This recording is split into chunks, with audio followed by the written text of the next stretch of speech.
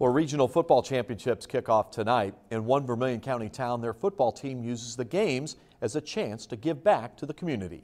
As News 10's Matt Gregory explains, North Vermillion football goes beyond X's and O's and into the ABCs.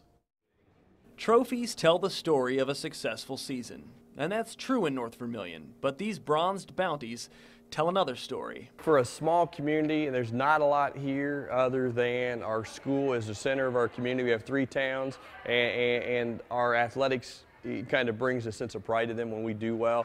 You'll see that athletics here go past Friday night lights to Friday morning memories for the elementary students. In, in football, we get to a sectional championship or regional championship. We bring them over for breakfast to kind of mingle with the kids. As the varsity football team walks into the cafeteria for breakfast, to these young students, they might as well be the Indianapolis Colts. Oh, well, we ask them kind of if they're coming to the game and, and what they feel, if they like football, and it's a huge connection with the young kids, especially the young kids football program. And Andrew would know he felt the same way as a first grader. I remember they did something similar back to this back then, and uh, it was just the highlight of the year. After breakfast, some of the Falcons stick around to read to the kids who in a decade will also strap on the blue helmet. All right! Yeah! While the rest of the team receives a send-off fit for heroes.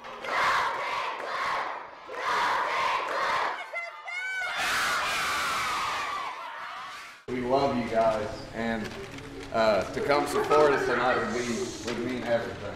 And the football team in return gives these youngsters a taste of being inside the huddle.